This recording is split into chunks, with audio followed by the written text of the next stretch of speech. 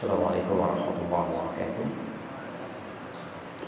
الحمد لله وكفى والصلاة والسلام على رسول الله المصطفى وعلى آله وصحبه ومن وفى أما بعد. فيا عباد الله أوصي نفسي وإياكم بتقوى الله فقد فاز المتقون. فلا تموتن إلا وأنتم مسلمون. فقال تعالى يا أيها الذين آمنوا اتقوا الله حق تقاته ولا تموتن إلا وأنتم مسلمون. Saudara-saudariku dan pemirsa Akhir TV, Madani TV, gimana pun anda?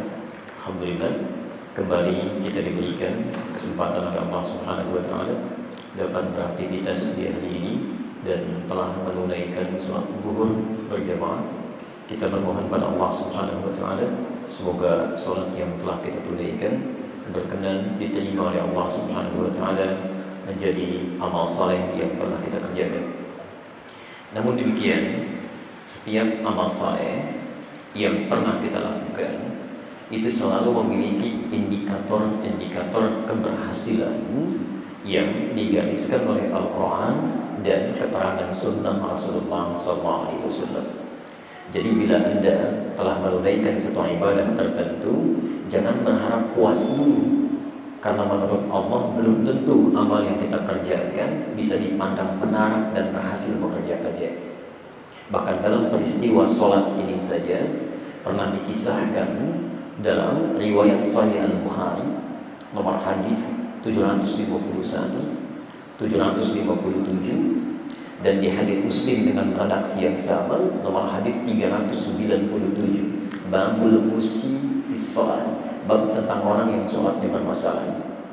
Jana rajul ila Nabi sallallahu alaihi wasallam. Datang seorang lelaki pada Nabi sallallahu alaihi wasallam. Fadakhala ila al-Masjid Nabawi, masuk ke Masjid Nabi. Fasalla bi Nabi sallallahu alaihi wasallam. Kemudian salat langsung di samping Nabi sallallahu alaihi wasallam. Beliau memulai dengan takbir sampai dengan selesai salat. Tatkala selesai salam, falamma sallama yaminan wa shimalan, tatkala salam ke kanan dan ke kiri, faqala lahu Nabi sallallahu alaihi wasallam. Nabi langsung berkata pada orang itu, "Shalli fa innaka lam tusalli." Silakan Anda sholat lagi karena Anda belum sholat. Anda bayangkan ada orang sahabat di zaman Nabi sholat di masjid Nabi di samping Nabi.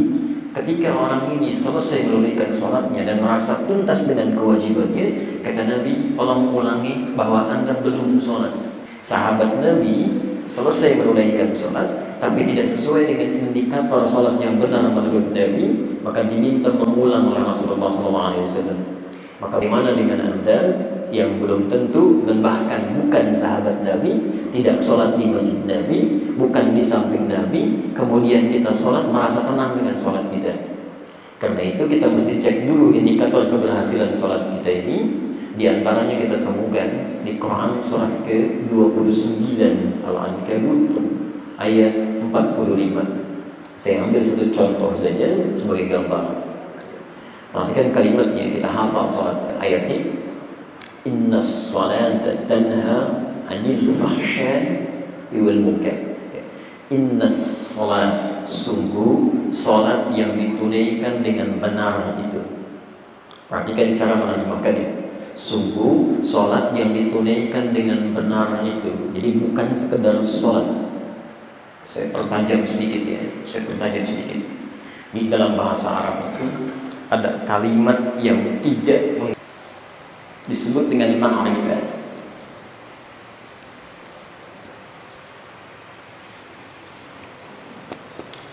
Ini artinya khusus ada ketentuan, ada aturan yang berlaku, tidak sembarangan. Silakan anda cek semua kalimat sholat yang terdapat dalam Al-Quran dan bermakna ibadah. Ingat, bermakna ibadah itu semuanya menggunakan alif lam. Silakan cek. Kalimat salat pertama Al-Baqarah ayat ketiga itu posisi paling kiri di pertengahan. Alladzina yu'minuna bil ghaib wa yuqimunas shalah. Ada alif lam. Al-Baqarah ayat 43 wa aqimus shalah. Ayat 45 wasta'inu bis sabri was shalah ayat 153 ya ayyuhalladzina amanu ista'inu bis-sabri was-shalah selalu ada alif lamnya jika kalimatnya tidak menggunakan alif lam sholat saja begini itu artinya anda boleh bebas menunaikan sholat ingin cepat-cepat ingin lambat ingin khusyuk tidak itu pilihan. Tapi kalau kalimatnya menggunakan alif lam itu artinya sholat yang dimaksudkan tidak sembarangan dia punya aturan yang tidak boleh kita lewati dan punya ketentuan yang tidak boleh kita langgar jadi kalau anda ingin terjemahkan di Quran surah 29 ayat 45 tadi Inna sholat sungguh sholat yang benar ditunaikannya Sesuai dengan aturan-aturan dan ketentuan yang dibawa oleh Nabi itu Tanha anil fahsyai wal munkar Itu yang bisa berdampak kebaikan bagi pelakunya Mencegah dari dua sumber keburukan Maaf Maaf sekali lagi, kalau ada orang punya sifat dan sikap buruk, itu sumbernya cuma dua, tidak ada yang ketiga. Satu disebut fahsya. Fahsya itu adalah keburukan yang bersumber dari syahwat. Kata-kata kotor, jorok, pornografi, porno aksi, LGBT, zina itu masuk dalam kategori fahsya. Di mustahil ada orang sholat bisa melakukan tindakan fahsyat. Kalau orang tidak sholat kata-katanya kotor, dia nggak sholat. Tapi kalau ada orang sholat, lisannya masih kotor, pandangannya tidak bagus, pasti ada yang masalah dengan sholatnya. Mungkar, perbuatan yang diingkari oleh hati, sumbernya nafsu perut dan akal. Maaf, maaf, mencuri itu mungkar, berselisih itu mungkar, korupsi itu mungkar, merampok itu mungkar, membunuh itu mungkar. Mustahil ada orang sholat bisa korupsi, mustahil. Jadi kalau anda melihat ada orang sholat masih mencuri, masih berdusta lisannya, ada yang salah dengan sholatnya. Di intinya, setiap orang yang sholatnya benar akan terjaga kebaikan dirinya, pasti baik. Ya. Maka mohon izin, tadi kita sudah menunaikan sholat zuhur berjamaah dan entah berapa zuhur yang pernah kita tunaikan dalam kehidupan. Pertanyaan terbesarnya, Sudahkah sekian sholat yang kita tunaikan menjadikan pribadi kita sudah menjadi orang yang baik dalam pandangan Allah dari ujung kepala sampai ujung kaki? Coba lihat di kepala aja dulu. Ya, maaf, mata orang sholat dengan mata orang tidak sholat itu beda. Karena sholatnya menjadikan dia baik, maka matanya pun ketika memandang tidak akan pernah memandang kecuali yang baik-baik saja. Karena itu orang beriman Bukankah kalimat salat pertama dibuka dengan iman? Alladzina yu'minuna bil ghaib wa yuqimuna shalah. Quran surah kedua ayat 3. Iman dulu kemudian salat. Kalau orang salatnya baik, maka akan berdampak kebaikan pada sifat dan sikapnya. Kebaikan ini kebaikan yang diikuti oleh iman. Bukan cuma baik biasa. Karena orang yang nggak beriman pun ada orang yang baik. Hati-hati, Orang yang tidak beriman pun Anda akan temukan orang yang baik menurut ukuran kita, bukan menurut ukuran iman. Mohon maaf ya, mohon maaf. Barangkali ada orang yang tidak beriman atau belum beriman bisa berbagi, bisa tolong orang lain, bisa nyumbang sana sini, ada dan disebut dalam istilah manusia dengan orang baik. Tapi baik menurut manusia belum tentu baik menurut Allah Subhanahu wa taala. Mari kita lihat orang beriman itu, mohon maaf, pandangannya saja itu beda memandang dengan iman dan memandang yang bukan dengan iman Quran surah ke-24 ayat 30 untuk laki-laki ayat 31 untuk perempuan dengan substansi yang sama Qulil mu'minina katakan pada pria-pria yang punya iman. Perhatikan iman kita dipertaruhkan di situ. Katakan pada pria-pria yang punya iman, yang ghuddu min absarihim. Dia hanya akan melihat yang baik saja. Jika yang dilihat tidak baik menurut Allah mubbu min absarihim dia akan palingkan jadi coba cek kalau setiap hari kita sholat untuk melatih iman kita tapi tidak berdampak kepada kehidupan perilaku kita ada yang salah. Minimal cek mata. Di orang beriman itu kalau benar sholatnya dia gak akan melihat semua yang dilihat kalau Allah gak rela dengan apa yang dia lihat dia akan palingkan. Antum pernah lihat iklan di TV kalau ada iklan shampoo yang antum lihat shampoo-nya apa orangnya? Lain ya. Itu juga sama kan? Dalam berbagai kesempatan kehidupan, coba barangkali di luar ada hal yang tidak harus kita lihat. Di handphone ada tayangan yang tidak harus kita lihat. Ada gambar yang nggak boleh kita lihat. Di situ iman antum dipertaruhkan. Kalau benar sholatnya dilakukan, maka pandangan akan terjaga. Telinga hanya dengar yang baik-baik. Mulut hanya bicara yang baik-baik. Kalau antum keluarkan hadis-hadisnya, antum akan lihat setiap perbuatan yang kita kerjakan bagi orang sholat selalu dibuka dengan kalimat iman. Mulut misalnya, man kana yu'minu billahi wal yawmil akhir falyaqul khairan aw liyasmut. Siapa yang merasa beriman pada Allah dan hari akhir cukup katakan yang baik, kalau tidak bisa dia diam. Pilihannya cuma dua. Orang sholat itu pilihan cuma dua. Kalau nggak bicara yang baik, dia diam. Itu baru kepala apa? Belum tangan, belum sampai ke kaki di mohon izin coba cek sampai dengan hari ini kalau sholat kita belum menjadikan sifat dan sikap kita baik barangkali ada yang harus diperbaiki di sini nah sekarang saya agak pelan-pelan sedikit ternyata sifat baik ini itu semenjak manusia dilahirkan sudah terbawa dalam fitrahnya di asal manusia lahir ini karena sudah membawa nilai iman dalam dirinya tidak ada manusia yang buruk, Pak. Semuanya baik. Punya sifat-sifat kebaikan.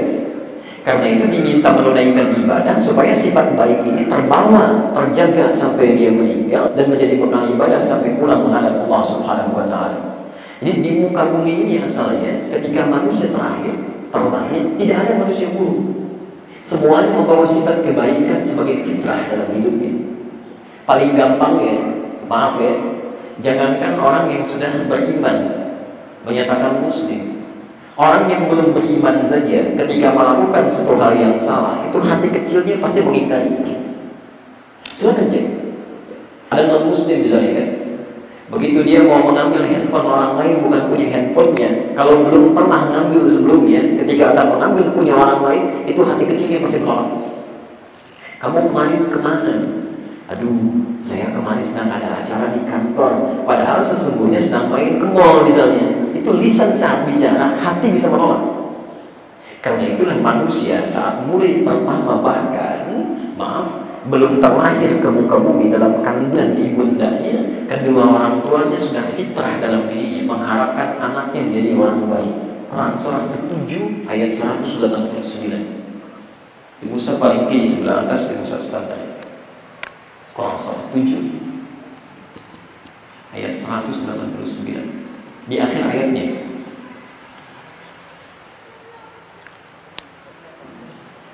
Maaf kaidah ini bahkan berlaku sejak manusia pertama ya. Sejak Nabi Adam alaihissalam dengan istrinya setelah berkumpul di dunia kemudian berhubungan dan mengandung istrinya. Falamma tawasya hamalan hamdan khafifa tatkala mulai mengandung itu kandungan ringan ya. Kemudian pada athqalat kala mulai berat mulai sulit miring kanan miring kiri susah kan dijaga kandungan dengan baik. Perhatikan ujung ayatnya. Da'awallaha rabbahuma. Kedua orang tua itu pada fitrahnya bermohon kepada Allah Subhanahu wa taala. La in ataitana salihah.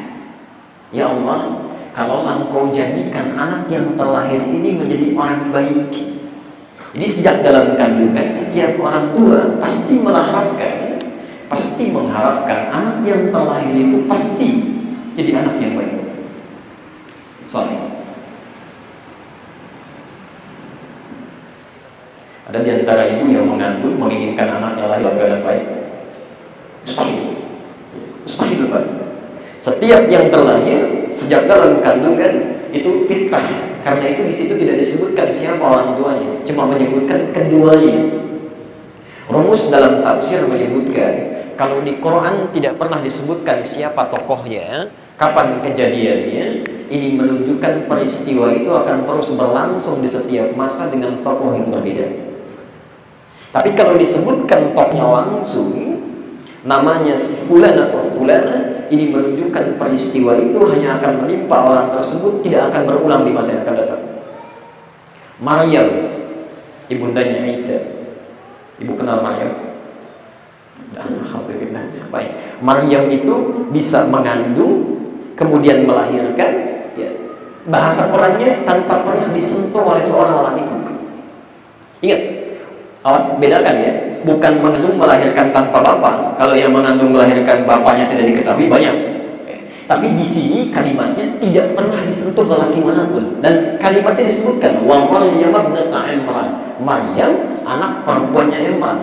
Ini menunjukkan peristiwa itu hanya akan terjadi pada Sayyidah Maryam, tidak akan dialami oleh perempuan-perempuan lain di masa yang akan datang. Kembalikan di sini.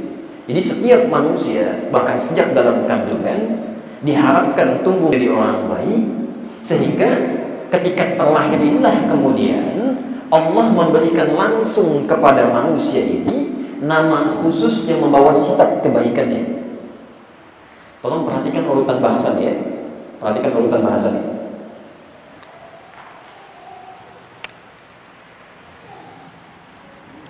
Fitrah manusia itu baik. Bahkan sejak dalam kandungan sebelum lahir diharapkan jadi baik. Setelah itu kemudian Allah memberikan nama bagi manusia yang mengisyaratkan nilai-nilai kebaikan ini. Bahkan Allah langsung memberikan nama bagi manusia yang mengisyaratkan nama-nama kebaikan ini. Disebut dengan ins namanya, al-ins. Pelan-pelan.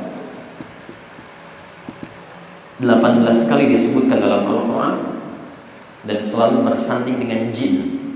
Ya, ya ma'syaral jinni wal ins wa ma khalaqtul jinna wal ins setiap disebutkan jin insnya muncul kalau jinnya dijamakkan menjadi jinnah insnya pun jamak menjadi nas binal jinnati wal nas ya. agak pelan-pelan ya ins itu kenapa Allah menamai manusia salah satunya dengan nama ins ya. ins itu asal katanya terambil dari kata al-uns di turunannya ada Anas, ada Anis. Ada yang bernama tokoh di Indonesia Anis Baswedan, ya. dari kata al-ins salah satunya. Ins itu secara bahasa berarti satu sesuatu yang tampak kelihatan. Kedua lembut, ramah, Ketiga, harmoni. Selalu bisa menyesuaikan dengan lingkungan. Silahkan perhatikan kalimatnya. Ketika manusia disebut namanya oleh di antaranya disebut dengan ins. Ya. Satu bermakna tampak. Kedua lembut, ramah. Ketiga harmoni. Bahkan untuk menegaskan makna ini langsung disandingkan dengan kalimat yang justru secara bahasa menjadi lawannya langsung. Jin. Jin itu secara bahasa Pak, itu langsung lawan dari kalimat ins. Jadi kalau manusia itu tampak, jin itu tersembunyi, tidak kelihatan. Jadi ketika lahir, manusia secara fitrahnya tampak, jin tersembunyi. Manusia lembut, ramah, jin kasar.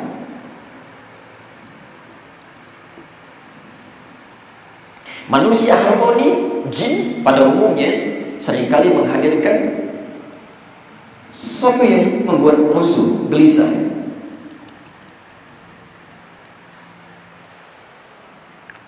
Saya pelan sebentar. Perhatikan keunikan pasangan ini dan nanti keterkaitan dengan tema yang akan kita bahas ya. Ini kita baru masuk kepada pengantar dulu. Lihat kalimatnya. Kalimat ini disebutkan di Quran 18 kali dan selalu dipasangkan ya. Lihat jin. Jin disebut oleh Quran dengan jin karena makna pertamanya sesuatu yang tersembunyi. Kenapa jin disebut dengan jin? Karena memang fitrahnya ketika diciptakan oleh Allah dia nggak nampak. Sembunyi, Pak. Beda dengan manusia, ketika dilahirkan sudah kelihatan, nampak secara fisikal. Jadi mohon maaf, kalau misal Anda melihat, misal ada penampakan-penampakan jin, itu menunjukkan jin itu sedang ada masalah, sedang keluar dari fitrahnya. Karena sifat jin itu asalnya tersembunyi. Jadi kalau dia mulai menampakkan sesuatu, ada yang salah dengan fitrahnya. Pasti itu jin bermasalah itu. Yang paling bermasalah kalau ada manusia mencari-cari penampakan jin, itu agak aneh. Karena jin itu fitrahnya nggak boleh nampak tersembunyi. Sama dengan manusia, maaf, kalau ada manusia yang sifatnya tampak kelihatan, tiba-tiba senang sembunyi-sembunyi, bapak pulang ke rumah sembunyi-sembunyi, kan? Masuk kelas sembunyi-sembunyi, ke masjid mojok-mojok, itu pertanda. Ah, oh, bukan sama dengan jin, saya tidak bilang gitu ya. Ini pertanda ada yang salah dalam fitrahnya. Pasti sedang masalah. Tapi poinnya, Manusia disebut dengan al-ins, makna yang kedua, itu punya bawaan yang lembut. Halus. Tidak ada kisah manusia dilahirkan sudah bisa mencela orang lain, Gak ada. Pasti ramai itu. Kalau ada manusia yang tiba-tiba bisa mencela orang lain, tiba-tiba kata-katanya kasar, tiba-tiba senang berselisih, ada yang berkelahi macam-macam, sebetulnya yang salah bukan manusianya, ada pengaruh di sekitarnya yang membuat dia berubah. Pernah ada orang anak dilahirkan langsung mencela ibunya, Begitu lahir langsung mengatakan, kenapa mama melahirkan saya? Gak ada. Yang ada adalah kelembutan, saking lembutnya, jangankan anak sendiri, Pak, anak orang bisa digendong-gendong. Masya Allah, gitu kan?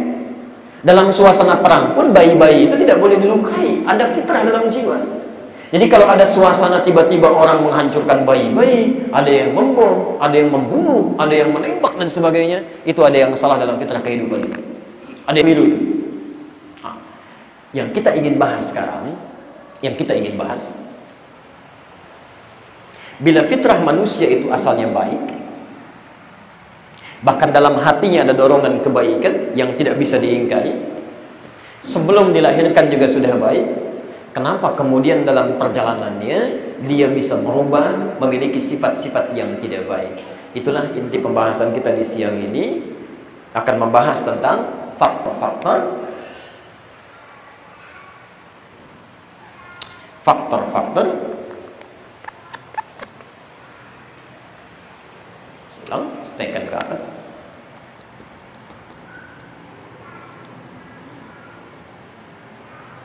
Yang memengaruhi agak panjang gitu fitrah kebaikan manusia.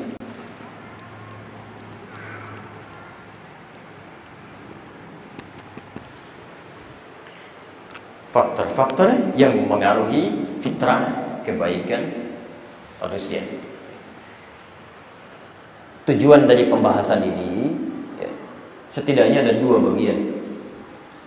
Pertama, dengan belajar materi ini diharapkan kita bisa menjaga potensi-potensi baik yang sudah Allah berikan sejak kita mulai dilahirkan sampai dibawa pulang menghadap Allah Subhanahu wa taala. Kalau antum tahu potensi-potensi ini, mudah bagi kita untuk menghadirkannya. Yang kedua, ini kelemahan sebagian manusia, orang Islam khususnya, sering kali mempelajari sesuatu yang positif, tapi tidak pernah mengkaji lawannya yang negatif untuk dihindari. Sehingga ketika berhadapan dengan sesuatu yang negatif, dia tidak siap untuk menghadapinya. Antum kalau terbiasa jalan di tempat yang datar, yang halus, yang bagus, tidak pernah tahu di mana lubangnya, itu besar kemungkinan bisa jatuh ke dalamnya, minimal bisa terpleset. Nah, kelemahan kita saat ini sering kali belajar yang positif-positif, tidak pernah membahas lawannya yang negatif, sehingga tidak punya kewaspadaan untuk menghindarinya. Termasuk faktor-faktor yang bisa memengaruhi kebaikan seorang manusia jarang dikaji. Yang dikaji yang baik-baiknya saja Bagaimana caranya makan sesuai petunjuk Nabi? Bagaimana caranya sholat sesuai petunjuk Nabi? Bagaimana caranya puasa sesuai petunjuk Nabi? Tapi tidak pernah dipelajari Bagaimana hal yang bisa mengurangi kehusuan sholat Hal yang memalingkan dari rezeki yang halal. Karena tidak pernah dipelajari yang tidak baiknya Seringkali manusia terjebak pada hal yang buruk. Bahkan mohon maaf Tidak sadar telah berbuat kesalahan besar Yang bisa cepat menjerumuskannya ke dalam neraka Ya. Sekarang perhatikan, banyak orang beraktivitas dalam kehidupan dan jeratan nerakanya sekarang sangat luar biasa, Bu. Ya. Bukankah Nabi pernah menyampaikan kalau meminta bantuan pada dukun, percaya pada ramalan termasuk dosa besar? Berapa banyak orang yang menggunakan zodiak pada saat ini sebagai acuan dari ramalan nasibnya? Berapa banyak orang minta bantuan kepada dukun dengan berbagai nama yang muncul pada saat ini? Ada yang paranormal, ada yang kiai, ada yang macam-macam dan sebagainya. Padahal itu keliru. Karena itulah kita akan keluarkan petunjuk-petunjuk Al-Quran yang menerangkan faktor-faktor yang bisa menyimpangkan manusia dari fitrah kebaikannya. Kita akan teruskan. Ini materi saya pikir sangat penting untuk pembahasan kita. Saking pentingnya bahkan agak sulit dihapus ini ya. Jadi sesuaikan saja dengan bahasan kita. Baik. Ada tiga faktor utama. Saya ulang, ada tiga faktor utama yang diisyaratkan dalam Al-Quran berpengaruh langsung pada sumber-sumber kebaikan pada diri manusia. Hati-hati betul dengan yang tiga ini ya. Jadi kalau yang tiga ini sudah hadir salah satunya dalam diri manusia, maka sumber-sumber kebaikan bisa tertutup. Nanti kita ambil keterangan ayat-ayatnya. Saya agak cepat. Satu, langsung saja setan. Setan. Dan ini bekerja keras bagaimana menjadikan manusia itu keluar dari nilai kebaikannya. Yang kedua, maksiat. Maksiat. Dengan segala turunannya, nanti kita akan turunkan ada maksiat kecil yang melahirkan dosa-dosa kecil, ada maksiat besar yang melahirkan dosa-dosa besar. Orang fokusnya hanya maksiatnya saja, tapi tidak pernah menggali kalau maksiat itu bisa menutup pintu kebaikan. Nanti kita terangkan lebih jauh, maksiat itu kan perbuatan buruk. Lawan dari buruk adalah baik. Kalau orang terbiasa berbuat baik, maka dia akan menutup pintu keburukannya. Tidak akan cocok pada yang buruk, Pak. Ibu terbiasa berkata-kata yang baik, maka ibu tidak akan pernah punya kosakata untuk berkata yang buruk. Nggak akan bisa. Nggak percaya silahkan, antum didik anak tuh berkata yang baik saja dengan lingkungan yang baik. Begitu orang punya kosakata yang buruk, dia nggak akan bisa balas karena tidak punya kosakatanya. Orang yang bergaul di lingkungan kata-kata yang buruk, lingkungannya tidak baik, maka dia pun akan kesulitan mencari kata-kata yang baik. Jelas di sini? Maka apalagi jika orang sudah berbuat maksiat, pandangan yang biasa melihat tayangan yang buruk begitu melihat yang baik-baik gak akan nyambung. Antum kalau biasa kumpul-kumpul maaf kumpul yang tidak jelas yang macam-macam apalagi ada maksiatnya jangan dikira mudah untuk datang ke pengajian. Apa tuh? Kumpul apa ya ah kayaknya di soleh saja. Eh, sudah lain kalimatnya. Seperti antum yang sekarang sudah mulai mau belajar kalau sudah belajarnya nyaman itu kumpul-kumpul yang gak jelas sudah gak nyambung lagi. Apalagi pada hal-hal yang melahirkan maksiat gak akan nyambung. Gak akan nyambung. Dari sini kita nanti turunkan beberapa bahasannya. Yang ketiga, ya, yang ketiga adalah konsumsi yang haram. Ya. Konsumsi yang haram. Bisa makanan, bisa minuman, dan ingat, bisa perangkat hidup. Pakaian haram, pena haram, handphone haram. Awas, itu nanti kita akan bahas dan kita akan turunkan hadisnya. Bahkan jangankan menutup pintu kebaikan. Doa itu sulit terkabulkan. Ya, doa bisa sulit terkabulkan. Jadi kalau ada orang kemudian berubah dari nilai kebaikannya, bergeser pada yang tidak baik, maka pengaruhnya hanya tiga di antaranya yang sudah kita sebutkan. Satu setan, kedua maksiat yang dikerjakan, dan yang ketiga adalah hal yang haram yang dikonsumsi dalam kesehariannya. Nah, ini petunjuknya bisa ditemui di Quran surah ke-6 Al-An'am ayat 153. Dalil umumnya dulu.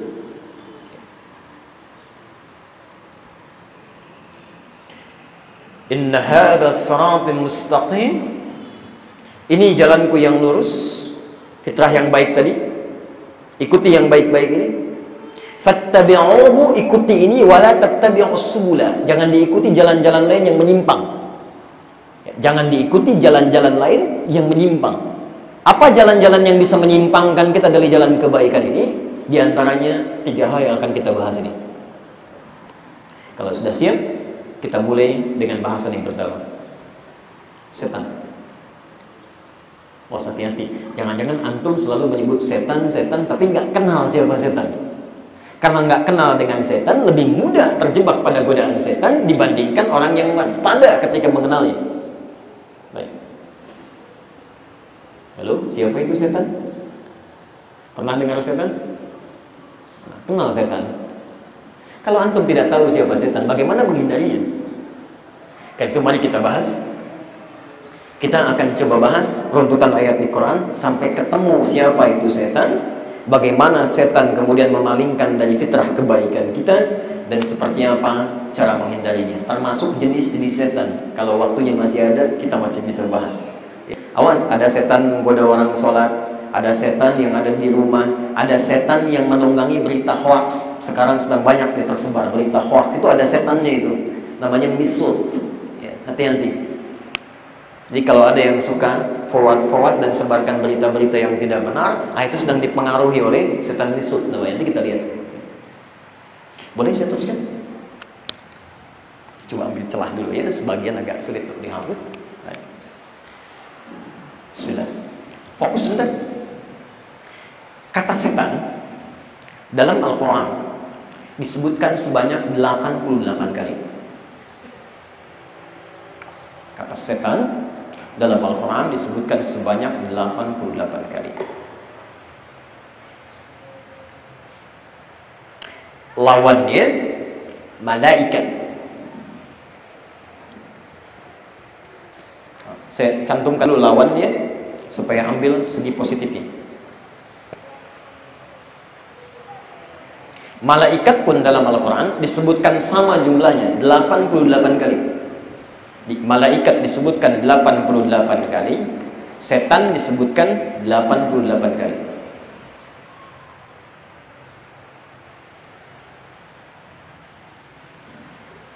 Pelan-pelan.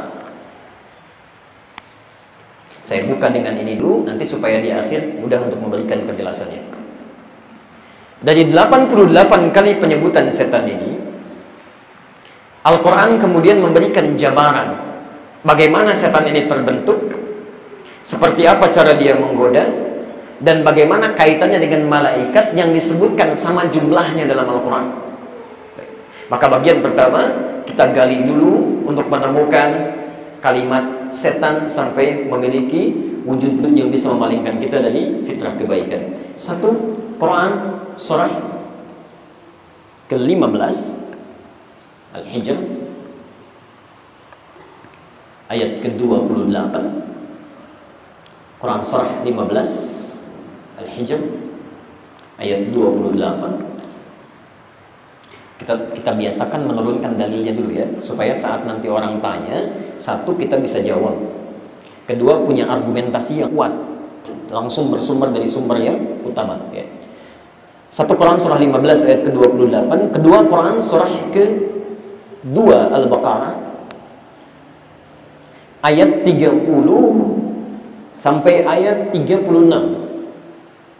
Ayat 30 sampai ayat 36, posisi paling kiri sebelah atas sampai ke tengah. Selanjutnya Quran surah ke-7 Al-A'raf dari ayat 12 sampai ayat 17 dari ayat 12 sampai ayat 17 tolong berikan kurung dalam kurung tuliskan 16 sampai 17 ya. jadi nanti ayat 12 nya ada kronologis kenapa setan tidak mau sujud kepada Adam. Nanti ayat 16 sampai 17 nya tekad setan untuk menggoda anak keturunan Adam yang memalingkan dia dari kebaikan-kebaikan sudah? baik selanjutnya Quran surah ke 12 Yusuf ayat 53 posisi paling kiri sebelah atas Quran surah 12 ayat 53 ditutup Quran surah 91 Asy-Syams ayat 7 sampai 10 ayat 7 sampai 10 sudah? Lihat kembali catatan anda. Satu Quran surah ke-15 Al-Hijr ayat ke-28 Kemudian Quran surah kedua Al-Baqarah ayat 30 sampai 37. Ketiga Quran surah ke-7 Al-A'raf ayat 12 sampai ayat 17. Ya. Spesifik Quran surah uh, ayat 16 sampai 17 ya. ya. Kemudian kita bisa akhiri dengan Quran surah ke-91 ayat 7 sampai dengan ayat 10 ya. Ingin ditambah bonusnya Quran surah keempat ayat 116 sampai 119. Posisi paling kanan di tengah sampai ke bawah. Sudah? Baik.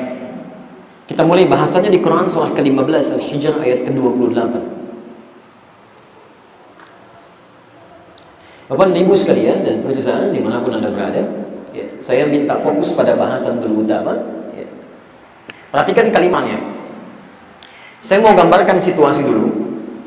Allah Subhanahu wa taala sudah menciptakan makhluk-makhluk ya, sebelum manusia. Sudah ada malaikat, sudah ada jin.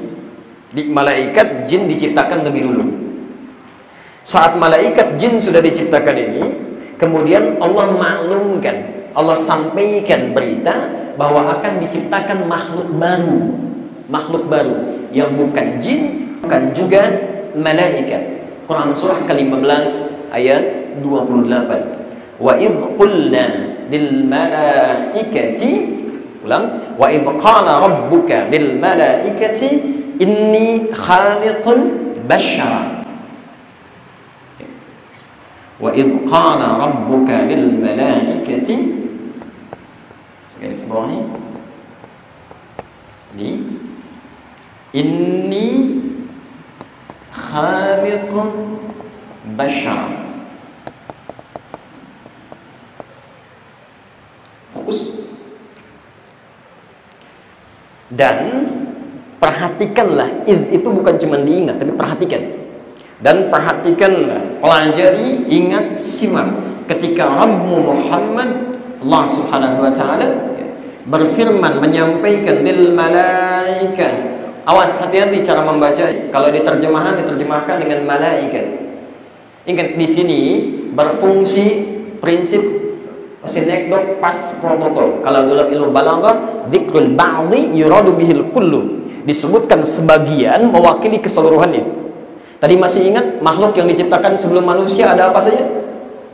Ada malaikat kemudian jin. Jadi ada jin plus dengan malaikat. Hanya karena jumlah malaikat dan tugasnya lebih dominan dibandingkan jin, maka dalam suasana itu kalimatnya langsung disampaikan dengan satu istilah, satu nama tapi mencakup juga pada mana jin. Ketika Allah menyampaikan saya berfirman pada malaikat, maksudnya pada jin juga. Kalau saya katakan begini, saya ingin menyampaikan Pak ya, perkataan saya mengatakan pada Bapak, tapi Ibu juga dengar kan? Pak, tunaikan sholat ya. Apakah kata-kata saya untuk Bapak saja atau untuk Ibu juga? Ibu juga kan ya? Jadi kalimat umum walau dicontohkan salah satunya. Awas pahami dulu ini ya. Kalau sudah paham, perhatikan.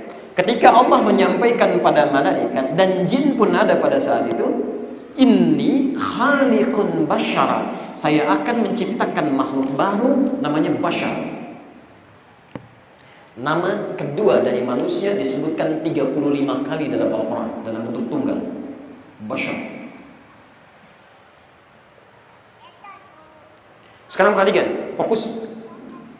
Khaliq artinya membuat sesuatu yang tidak ada menjadi ada tanpa bahan sebelumnya.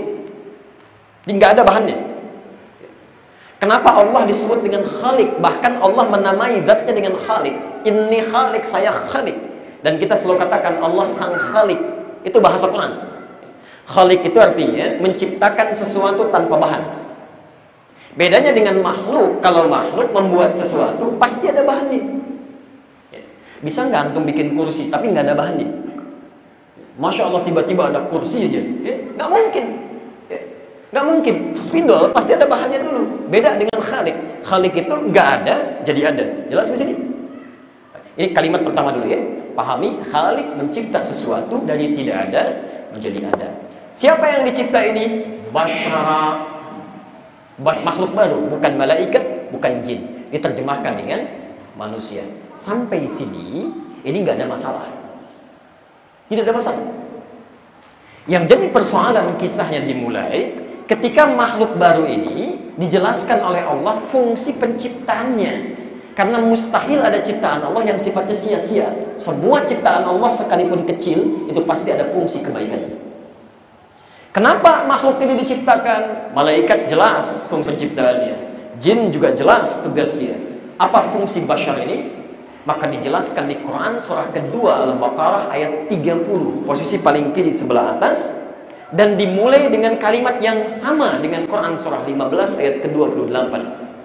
Anda kalau perhatikan Quran surah kedua ayat 30, posisi sebelah kiri di paling atas di mushaf standar, itu awal kalimatnya sama dengan Quran surah ke-15 ayat 28. Di sini wa qala rabbuka lil malaika di Al-Baqarah ayat 30 pun wa qala rabbuka lil malaika bedanya yang di Al-Hijr ayat 28 inni khaliqun yang di Al-Baqarah ayat 30 inni ja'ilun Inni ja'ilun fil ardi khalifah.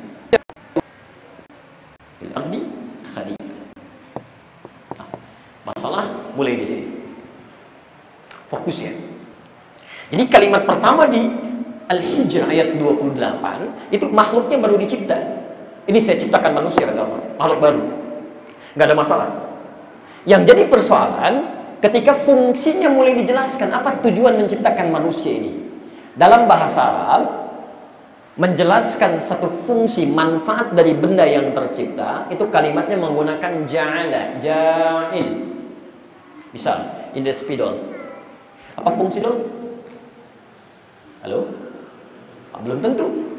Kalau saya katakan ini ja'ilun al-qalam ramyan lin nuas. Saya mau jadikan spidol yang ini khusus untuk melempar yang ngantuk, bisa. Nah, itu ja'il namanya. Inni ja'ilun al-qalam misal alatan lil kitabah. Saya jadikan spidol yang ini untuk menulis. Maksud saya, kalau ada kalimat dalam bahasa Arab ja'ala atau ja'il itu artinya memberikan fungsi pada benda ya, atau objek yang sudah tercipta. Jelas? Maka diperkenalkan oleh Allah kepada para malaikat dan jin. Saya akan jadikan manusia yang tercipta ini, bashar ini, fungsinya maaf fil ardi khalifah sebagai khalifah di muka bumi. Di sini mulai muncul persoalan. Malaikat mulai bertanya kepada Allah untuk menegaskan tentang kuasa Allah. Kalau dalam bahasa kita, ya Allah, kenapa engkau memberi tugas khalifah itu kepada manusia, bukan kami yang sudah ada aja? Kenapa harus menciptakan makhluk baru? Ya. Bahkan maaf, ataj'alu fiha man yufsidu fiha wa yasfikud dima Apakah diciptakan makhluk yang bisa berpotensi berbuat kerusakan, bahkan menumpahkan darah? Terbukti sekarang ya, manusia banyak yang merusak dan bahkan menumpahkan darah. Ya. Tapi persoalannya dari mana malaikat tahu bahwa manusia bisa merusak dan menumpahkan darah? Ya. Bahkan kan manusia ini belum dicipta, baru jadi. Kok mengatakan begitu? Ada yang menafsirkan sebelumnya sudah ada manusia yang lainnya. Ada yang mengatakan Allah memberi penjelasan. Jawaban yang paling mudah dipahami ditafsirkan oleh Al-Quran sendiri. Karena manusia saat diciptakan ini, nama yang dilekatkan kepadanya disebut dengan bashar. Bashar itu secara singkat makhluk yang punya potensi nafsu. Ini saya turunkan dulu. Bashar adalah makhluk yang punya potensi nafsu. Ya, fokus.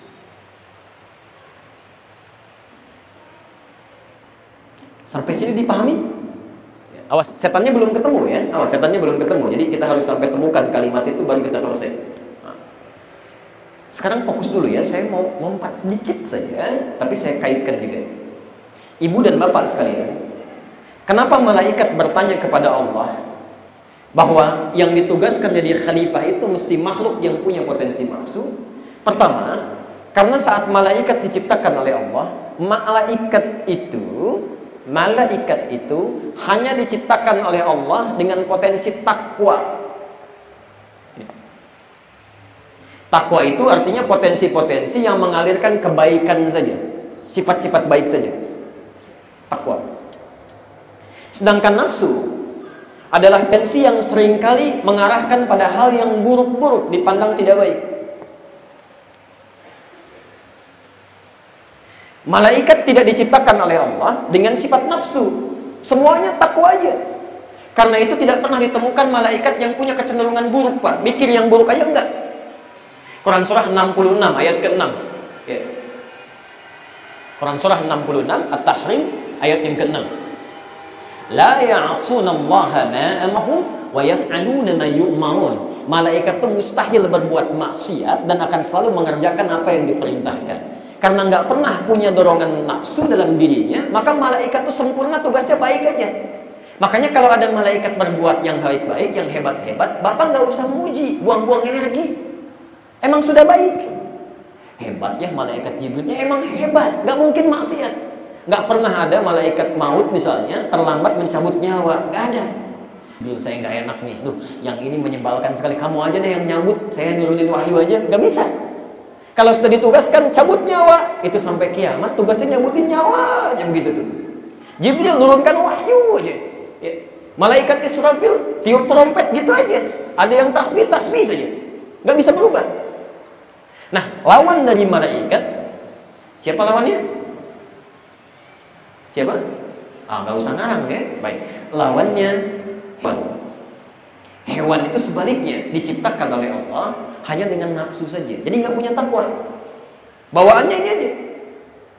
Sedangkan sifat nafsu tadi Quran surah ke-12 ayat 53, posisi paling kiri sebelah atas. Inna nafsa la ammaratun bisu. Kecenderungan nafsu itu selalu mengarahkan pada yang buruk-buruk. Lawan dari takwa itu nafsu. Hewan diciptakan oleh Allah Subhanahu wa taala itu cuma dengan nafsu saja. Makanya kalau ada hewan berbuat sesuatu yang buruk, yang salah, ibu nggak usah mencela karena memang sifatnya begitu. Ibu sudah nyapu, ngepel lantai bagus, tiba-tiba datang ayam buang kotoran. Ibu katakan dasar ayam itu buang-buang energi karena ayam memang begitu. Dia nggak punya sifat ini. Dan menariknya, Takwa disebutkan 115 kali dalam Al-Quran. Nafsu disebutkan 115 kali dalam Al-Quran. Sama persis.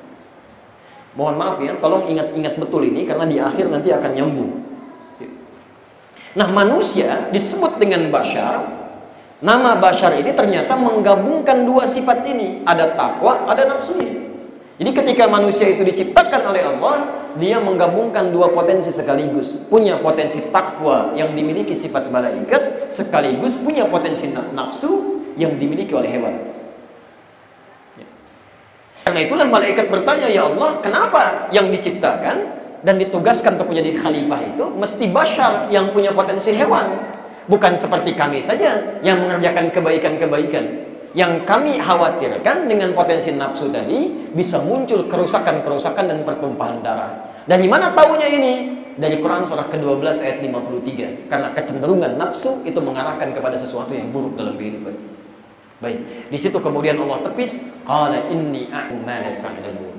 Kamu tidak perlu berpikir seperti itu karena aku telah memberikan perangkat yang tidak kalian ketahui. Dengan perangkat itu nafsu bisa ditekan. Nanti kita lihat. Yang jadi persoalan Kemudian Allah berikan kelebihan-kelebihan di makhluk bashar ini ayat 31 sampai ayat 33-nya. Saya agak cepat saja. Yang menunjukkan bahwa memang penciptaan makhluk manusia ini sudah didesain oleh Allah menjadi bagian tugas sebagai seorang khalifah. Karena itu semua subhanaka la ilma lana illa ma 'allamtana innaka antal alimul hakim. Baik. Ayat 33-nya dipuji kemudian oleh Allah, makhluk yang ketiga Bashar ini dimintakan supaya memahami bahwa dalam setiap penciptaan masing-masing punya kelebihan. Malaikat punya kelebihan, jin punya kelebihan, dan Bashar pun punya kelebihan yang tidak dimiliki oleh keduanya. Maka di sini kita mulai kisah lebih dalamnya. Di ayat 34-nya dimintakanlah malaikat dan jin untuk hormat kepada makhluk ketiga ini.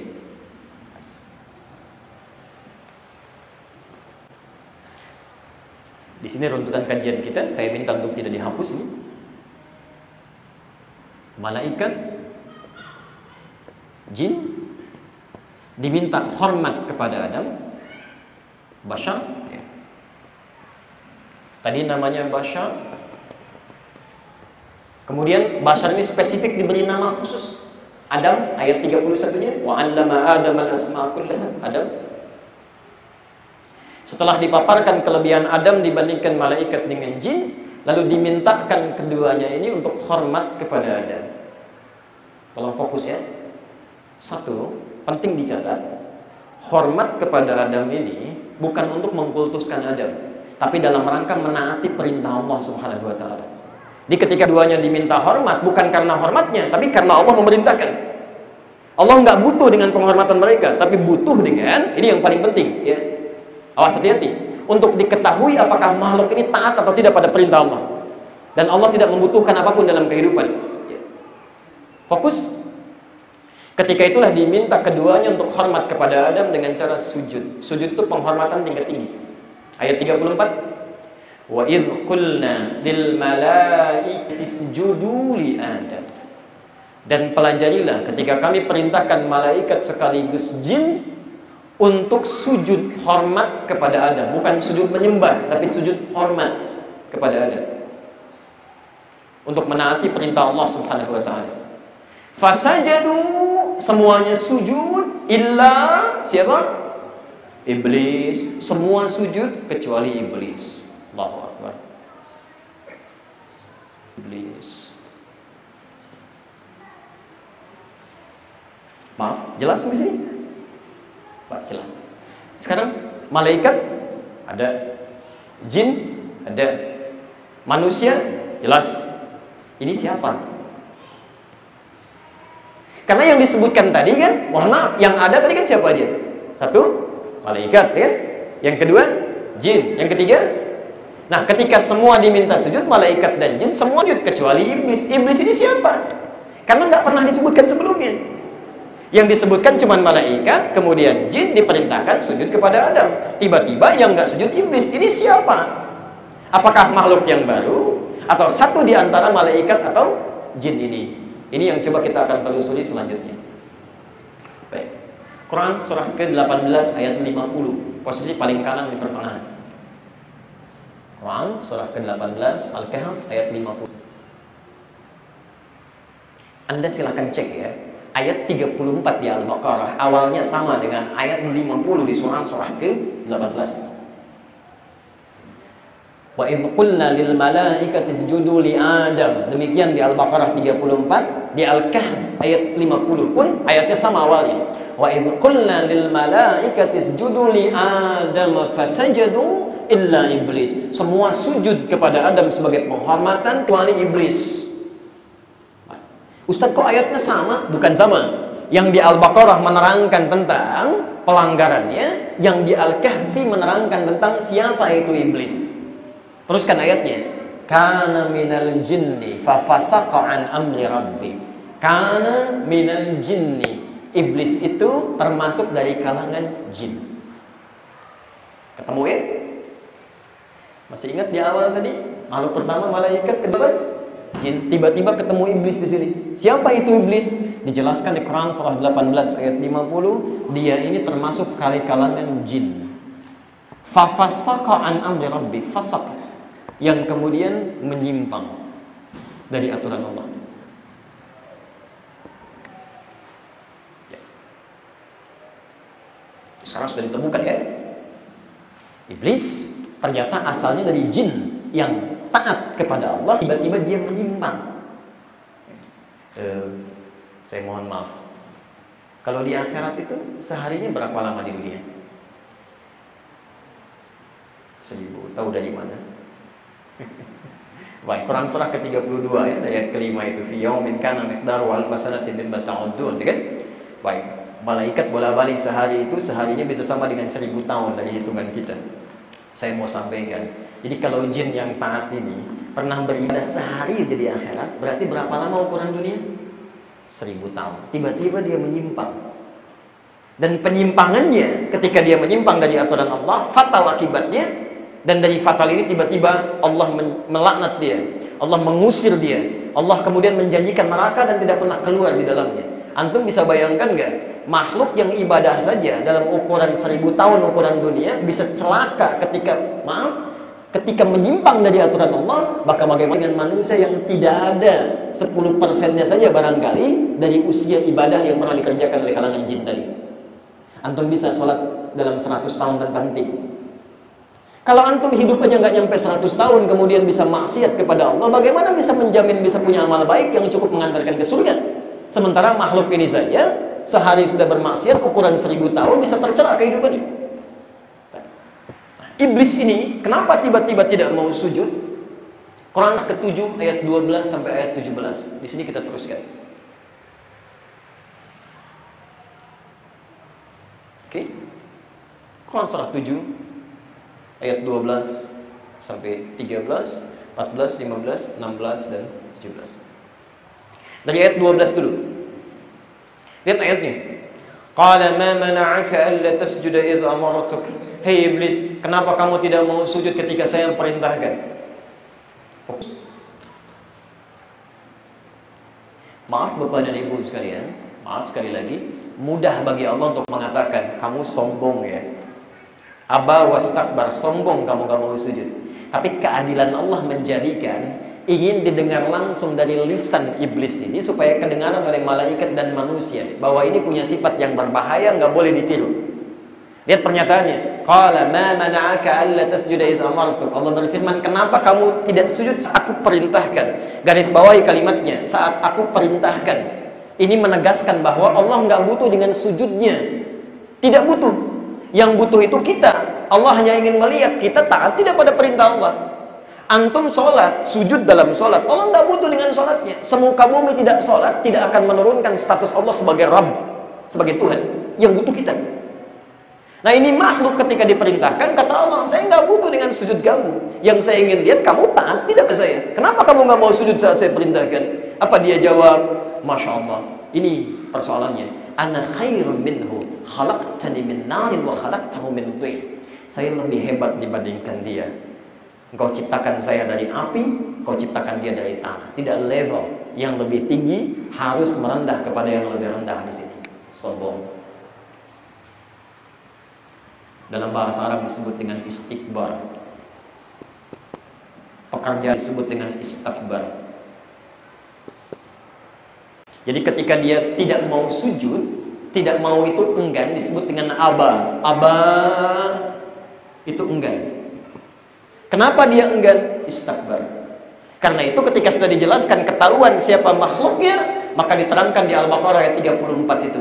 Perhatikan kalimatnya. Wa idh qulna lil malaikati isjudu li Adam fasajadu illa iblis. Kenapa? Aba wastakbar. Dia enggan sujud karena sombong. Kenapa kemudian namanya dirubah dari jin menjadi iblis? Sekarang fokus betul ya. Ini mungkin belum sempat ditemukan nih. Ini agak dalam kajiannya karena saya menggabungkan beberapa kitab tafsir. Ya, jadi kalau baca satu tafsir saja Anda nggak akan temukan uraian ini. Harus Anda gabungkan dulu. Dalam bahasa Arab ada balasa, ada lamisa, lim, lam, ba, sin. Lihat hurufnya sama. Di sini ada ba, di sini ada ba. Sini ada lam, sini ada lam. Sini ada sin, sini ada sin. Tapi maknanya bisa beda. Perhatikan sini. Kalau lam bisa, lam, ba, sin yang bawah ini itu artinya sesuatu yang baik menutup sesuatu yang kotor yang tidak mau terlihat. Misal, ada aurat tidak mau terlihat tampil keluar, maka tutup dengan pakaian yang elok. Maka itu disebut dengan labisa dalam bahasa Arab. Pakaiannya disebut dengan libas.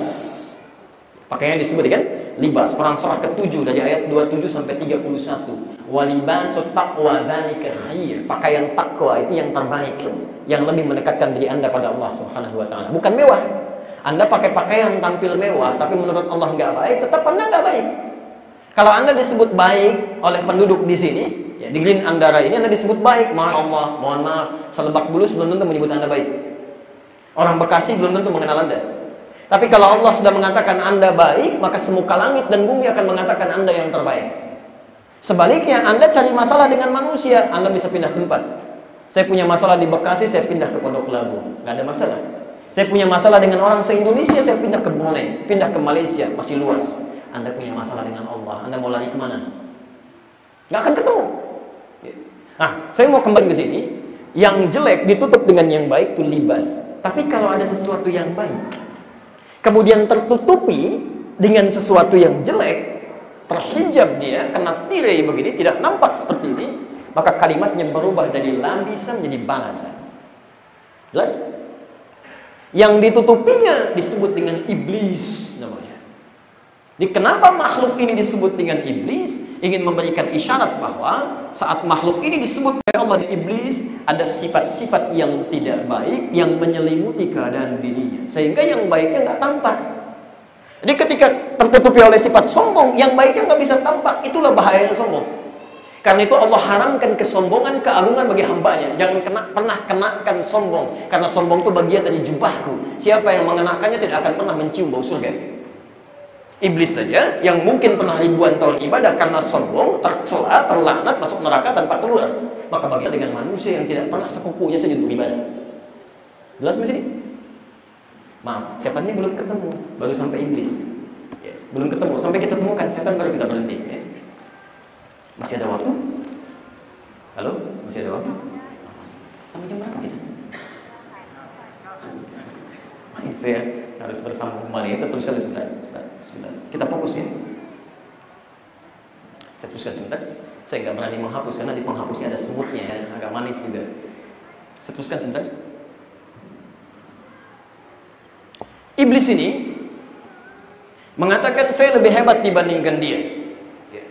Engkau ciptakan dia dari tanah, sedangkan saya dari api. Nggak level. Yang dari api harus turun derajat kepada yang dari tanah. Maka Allah murka kemudian di sini dilaknat dia, diminta keluar dari tempat dia tinggal. Fokus sebentar.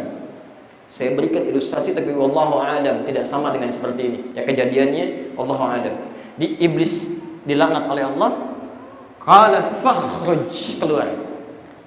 Keluar dari tempat dia mendapatkan kenikmatan. Jadi keluar dari sini, keluar. Begitu diusir, dia menyampaikan kepada Allah satu permintaan. Ya Allah, kalau dalam bahasa kita, Engkau telah memfonis saya sebagai hamba yang tersesat, hamba yang bermaksiat. Fabima aghwaytani. Maka la'udanna lahu siratakal mustaqim. Beri kesempatan pada saya untuk bisa menyesatkan keturunan-keturunan Adam yang menyebabkan saya begini dilaknat olehmu. Perhatikan sifat sombong itu. Mohon maaf Bu ya, Pak ya. Mohon izin sebesar-besarnya Sombong itu bukan hanya menyebabkan kita jauh dari Allah, tapi bisa menutup pintu hidayah. Jadi begitu akan diberi petunjuk, nggak bisa. Karena kesombongan itu.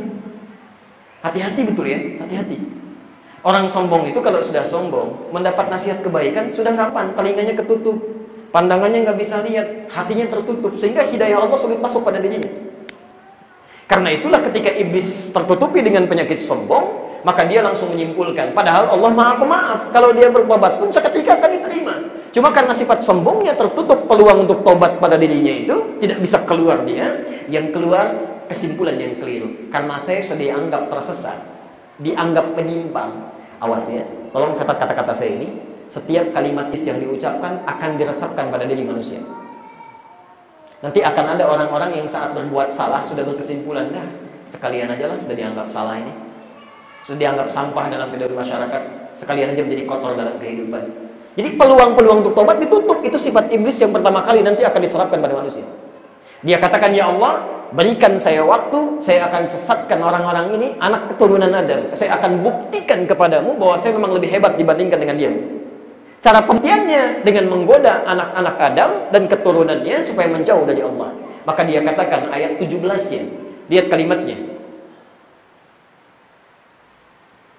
Thumma min baini aydihim. Saya akan datangi dia dari depannya. Perhatikan kalimatnya. Kemudian dari belakangnya.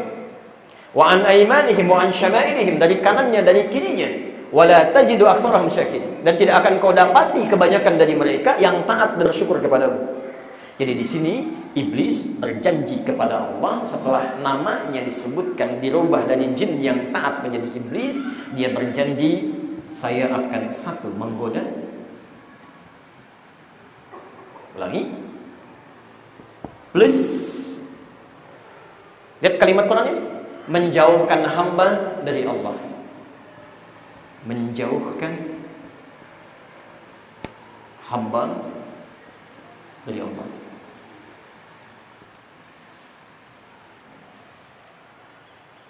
Dia punya janji di sini Maaf, jelas sampai sini dulu? Kalau sudah jelas saya teruskan, jelas? Baik.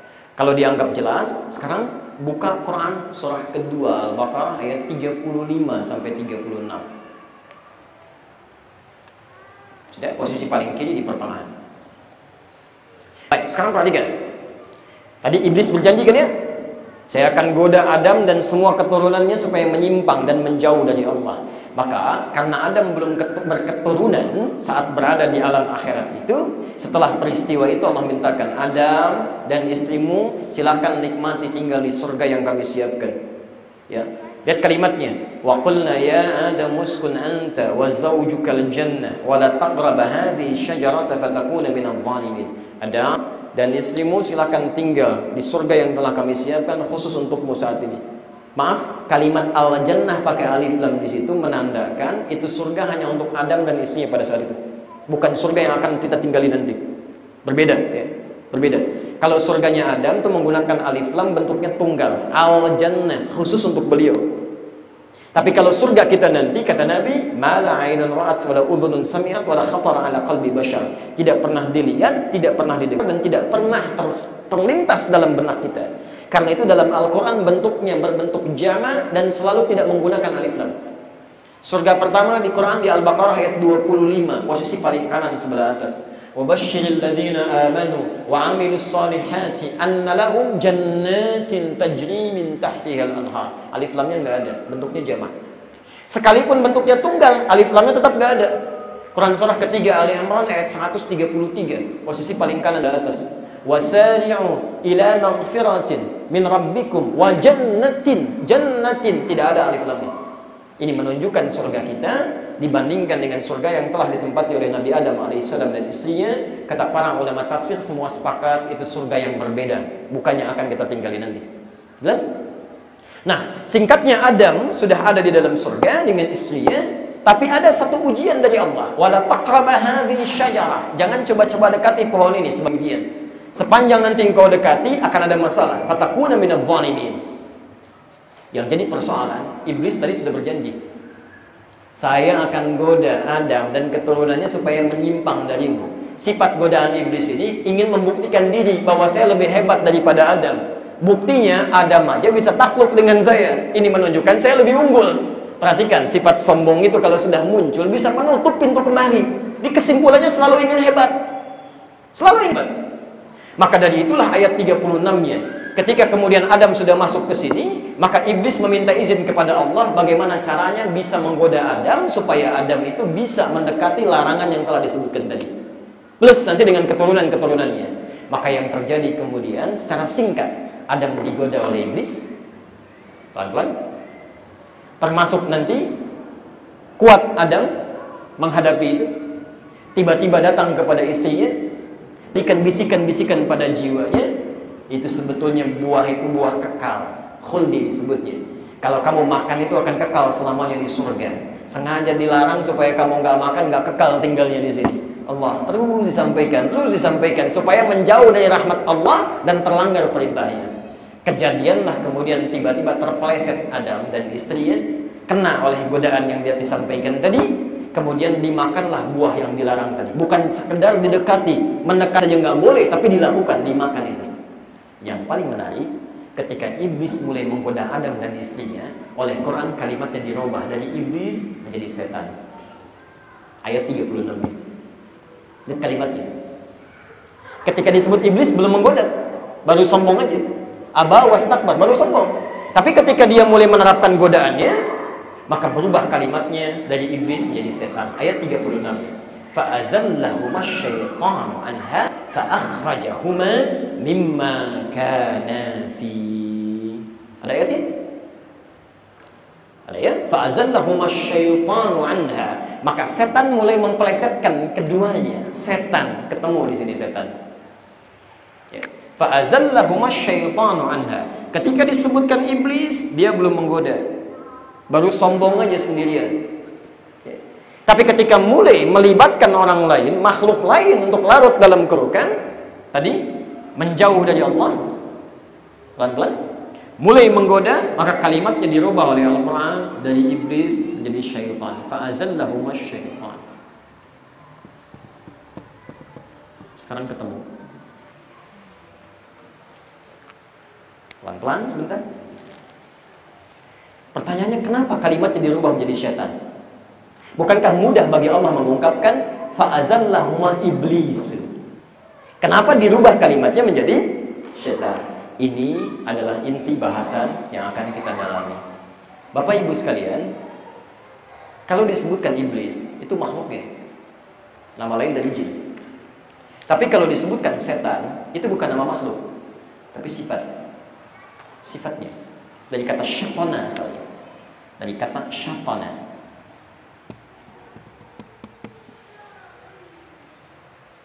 yaitu segala hal yang menjauhkan hamba dari rahmat Allah. Segala hal segala sifat keadaan yang menjauhkan hamba dari rahmat Allah Subhanahu wa taala.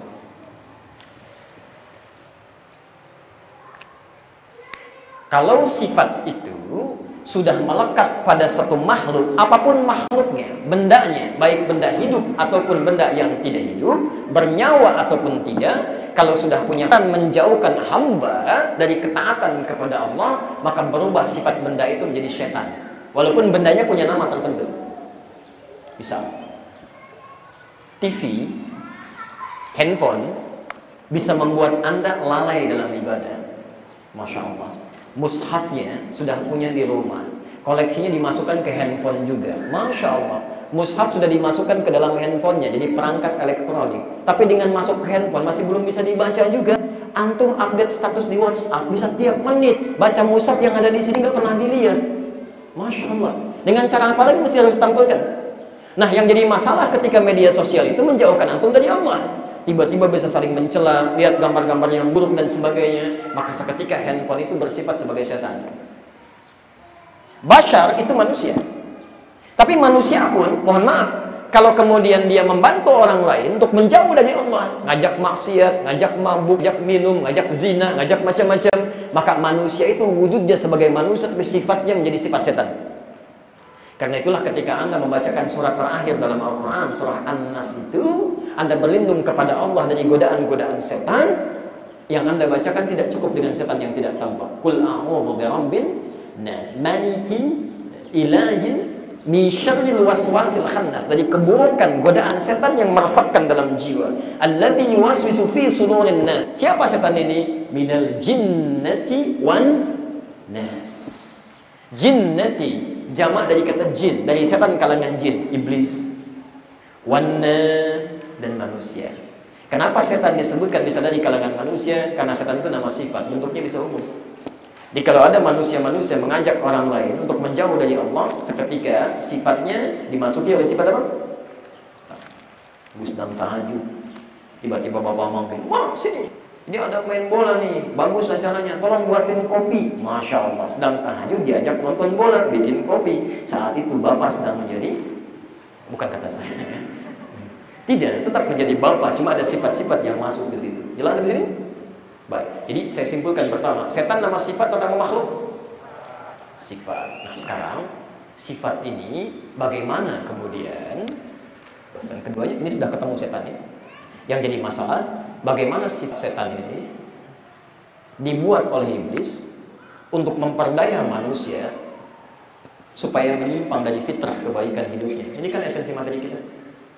Bagaimana ini dimanfaatkan supaya menyimpangkan manusia dari fitrah kehidupan. Nah, sekarang masih ingat di awal saya sandingkan malaikat dengan setan? Disebutkan berapa kali malaikat? Halo? 48. Setan?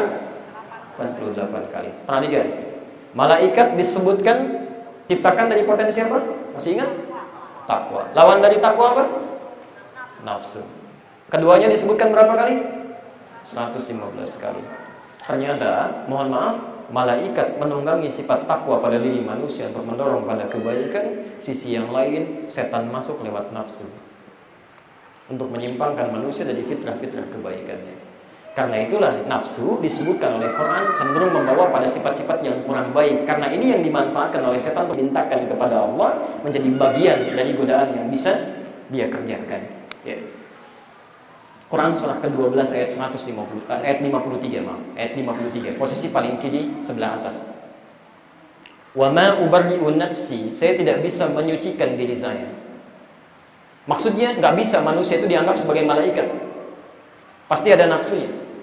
Innan nafsa la ammaratun bisu. Sedangkan nafsu itu itu yang mencegah manusia bisa jadi orang suci, bisa cenderung berbuat salah. Kenapa nafsu bisa cenderung berbuat salah? Karena itu bagian setan untuk disimpangkan pada keburukan. Jadi hati-hati Bapak Ibu sekalian, secara singkat, setan itu dibuat oleh iblis untuk menyimpangkan manusia keluar dari fitrah kebaikan, masuknya lewat nafsu. Semakin Anda mengaktifkan nafsu, merespon hal-hal yang bisa membangkitkan nafsu, maka takwanya akan turun, nafsunya naik, maksiat mulai muncul. Keluar dari fitrah kebaikan. Tapi kalau Anda bisa menekan nafsunya, kemudian takwanya bisa Anda naikkan, maka keburukan bisa Anda tekan, yang baik-baik bisa muncul. Fitrahnya bisa terjaga.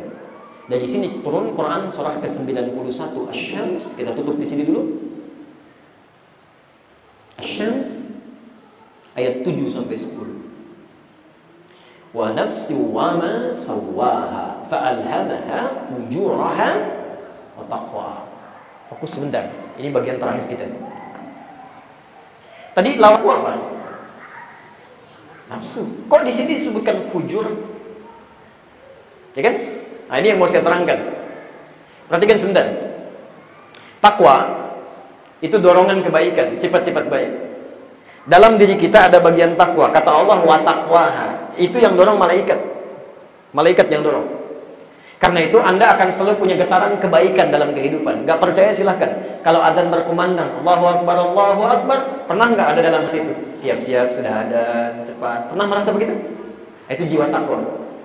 Jiwa takwa. Tapi begitu ini selesai, itu yang bisikin malaikat. Adzan selesai, tiba-tiba sisi yang lain mengatakan, "Nah, baru adzan, belum koma. Paling masih sepi masjidnya." Itu ada ada pernah ada seperti itu? Itu setan masuk lewat nafsu. Nah, kalau dorongan kebaikan ini Anda respon, ada rambatan-rambatan kebaikan, maka rambatannya disebut dengan fajar namanya atau infajar. Fajar atau infajar. Ya. Kenapa sholat subuh disebut dengan sholat fajar salah satunya? Karena ketika dipanggil Anda dalam tidur, as-salatu khairum minan naum, dalam hati Anda merespon dengan keimanan, saya bangun, saya sholat. Di pancaran kebaikan yang bersumber dari sumber asalnya, itu oleh bahasa dalam bahasa Arab disebut fajar atau infajar. Quran surah kedua ayat 60, posisi paling kanan. Di sebelah atas ke tengah sedikit. Wa istasqa Musa liqaumihi faqulna drib bi'asaka al-hajar fanfajarat min 12 'ayna. Nabi Musa punya kaum terdiri dari 12 suku. Setiap suku minta kepada Nabi Musa, "Hei Musa, mintakan kepada Tuhanmu Allah supaya menyampaikan, mengeluarkan sumber air, tapi jangan satu, minta 12 supaya cukup untuk kami semuanya." Maka Allah firmankan, "Qul nadrib bi'asakal hajar." Musa, pukulkan tongkatmu yang kayu itu. Asa itu tongkat kayu. Pukulkan ke batu. Hajar itu batu. Saya mohon maaf Pak, mau tanya, tongkat kayu dengan batu lebih kuat mana? Masya Allah, batu. Tapi karena tongkatnya Musa mujizat, tongkat kayu Musa dipukulkan ke batu. Batunya pecah, fan fajarat min husnata asyrata aina. Keluar 12 mata air. Tongkat Nabi Musa kayu dipukulkan ke batu, keluar 12 mata air. Tongkat antum emas pukulkan ke batu, keluar 12 air mata. Tapi di sini poinnya, fan fajara, in fajar. Ketika keluar 12 mata air, kalimat Qurannya menyebutkan fajar, in fajar. Itu yang positif, yang baik-baik. Ya. Jadi, kalau saya sedikit berikan gambaran, kalau ada dorongan dari hati misalnya, tangan sedekah, begitu tangan sedekah, itu dorongan dari jiwa sifatnya takwa, rambatannya disebut dengan fajar. Kalau keluar jadi amal soleh. Jelas? Lisan berkata yang baik didorong. Begitu lisan mau keluar, rambatannya sampai ke lisan disebut dengan fajar. In fajar. Jelas? Lawannya yang dari nafsu, rambatannya disebut dengan fujur. Fujur itu rambatan negatif. Negatif. Misal, Begitu dengar satu perkataan, tiba-tiba Anda merasa tersinggung. Mau masuk ke mata, mata jadi mau melotot. Tangan jadi gemetar. Mau membalas, itu rambatannya disebut dengan fujur. Fujur. Kalau sudah jadi perbuatan, matanya melotot, tiba-tiba tangannya mukul, maka perbuatannya berubah menjadi su, namanya suun. Rambatannya disebut dengan fujur, perbuatannya disebut dengan su. Makanya orang-orang yang pernah berbuat salah, itu oleh Quran disebut berbuat su dan hati kecilnya meminta dia untuk tobat. Quran surah keempat ayat 17 sampai 18. Ya.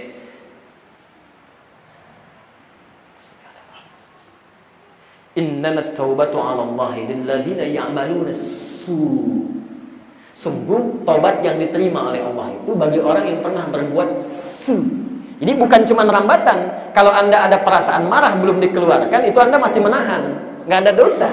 Yang salah itu ketika amarah menjadikan Anda misalnya maaf ya, pukul sesuatu, berkata-kata yang kotor dan sebagainya. Itu jadi su, jadi dosa di situ. Maka ada peluang untuk bertobat. Tapi poinnya, kenapa di sini takwa dilawankan dengan fujur ingin memberikan gambaran bahwa orang lebih cepat merespon keburukan dibandingkan dengan mengerjakan yang baik-baik. Di godaan nafsu itu dahsyatnya dibandingkan dengan takwa.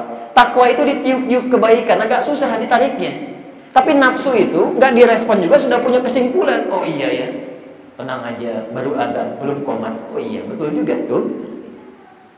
Tapi kalau orang sudah kuat nilai takwanya, dia akan peduli. Sebelum adzan pun sudah ada di masjid.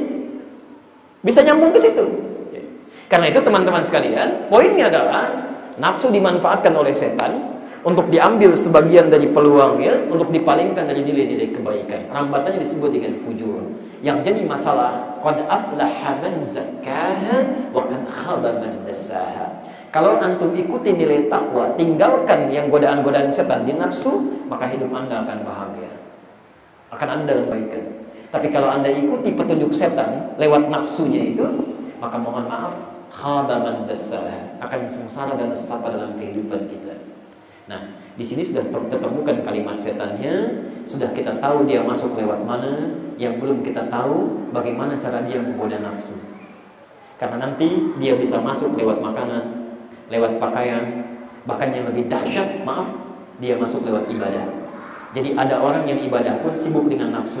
Bahkan disebutkan di hadis riwayat Abu Daud nomor hadis 666, bahkan orang sholat pun itu bisa dibuat lupa oleh setan, bisa mengingat yang lupa dan melupakan yang ingat.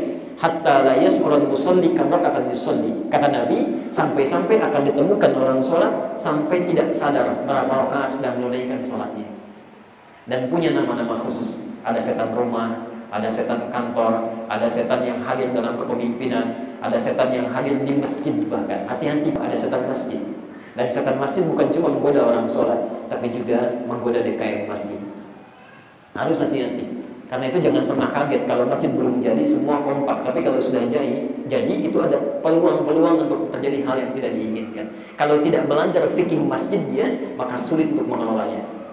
Maka tidak cukup belajar tentang malaikat saja, mesti tahu siapa-siapa itu setan yang dimaksudkan, bagaimana cara dia menggoda supaya kita waspada dan menghindari keadaan.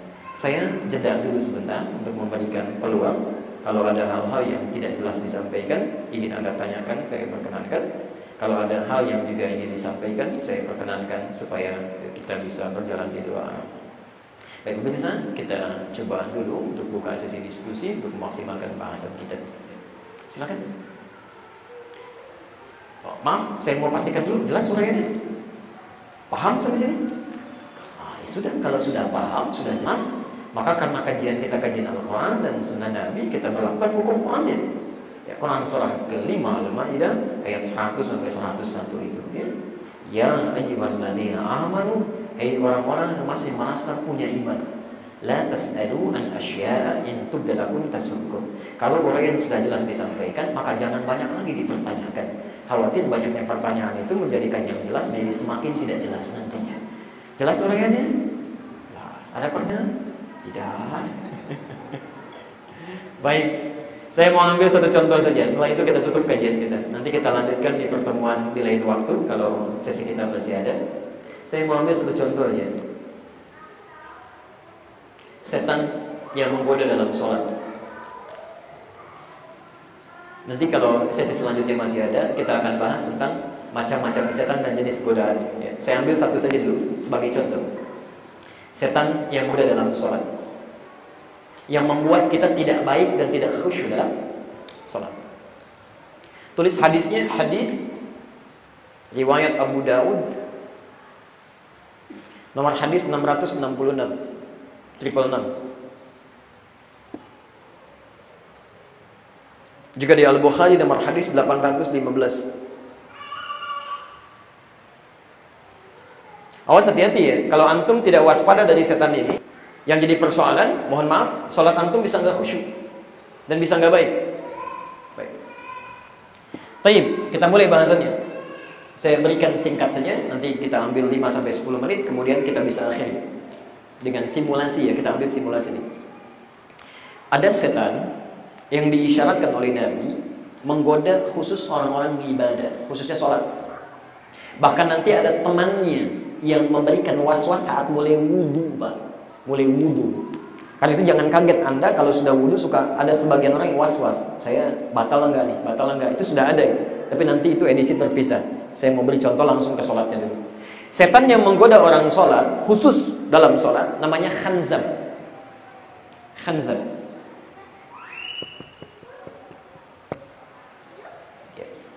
Khanzab. Ini namanya akan saya sebutkan nanti ada sembilan jenis sembilan jenis yang harus anda ketahui. Dan tolong diingatnya kalau ada kemiripan cepat ganti nama. Karena nggak boleh nggak boleh ya.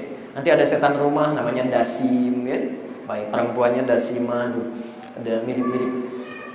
Saya teruskan dulu. Siapa? Setan menggoda orang sholat namanya? Khanzab perhatikan jenis godaannya. Ketika seseorang mulai sholat kata Nabi dia mulai bertakbir. Kalau sebelum takbir biasa aja tapi saat dia mulai bertakbir, kata Nabi, fayaqulu uzkur kadza uzkur kadza. Maka mulai dia memberikan was-was kepada orang yang sedang sholat ini, kamu ingat ini ya. Kamu ingat itu ya. Anda jangan pernah kaget begitu Anda takbir. Gak percaya nanti sholat asar ya. Begitu Anda sholat begini, Masya Allah. Jangankan yang biasa, materi kita sekarang bisa diingat juga. Ada setan menggoda orang sholat, padahal itu setan bisa dihadirkan tuh ingatan-ingatan itu. Jadi anda takbir Allahu Akbar, tapi pikiran bisa ke mana-mana. Handphone, SMS belum dijawab, telepon belum macam-macam dan sebagainya. Hadir. Bahkan kata Nabi, hatta la yural musalli kam raka'at yusalli. Sampai-sampai orang sholat bisa nggak sadar berapa rakaat sedang menunaikan sholatnya. Kalau anda mengalami situasi ini, maka anda telah kena bagian dari godaan ini. Bagaimana cara mengatasi setan ini? Pelan-pelan. Ada dua hal. Satu nanti yang terkait dengan nafsu. Ya. Agak panjang bahasanya. Yang kedua, yang ini saya contohkan dulu, saya dahulukan. Cara menangkal setan ini. Pertama disebutkan langsung oleh Nabi di hadis riwayat Abu Daud nomor hadis 666.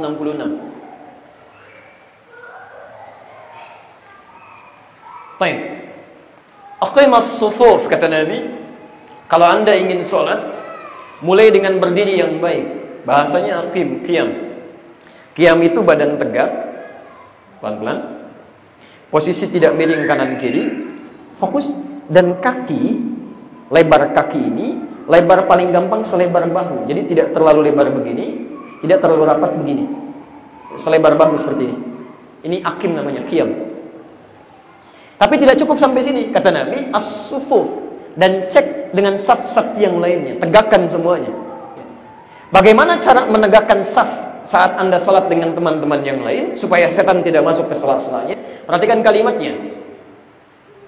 Wahadu bainal manaqib wal aqdam. Mulailah luruskan dan rapatkan kakimu. Lurus dan rapat kaki ini yang paling menarik disebutkan oleh Nabi, wahadu bainal manaqib wal aqdam Ukuran lurus ya kata Nabi, jika kaki kamu ini bisa sejajar dengan bahunya. Sejajar dengan bahunya.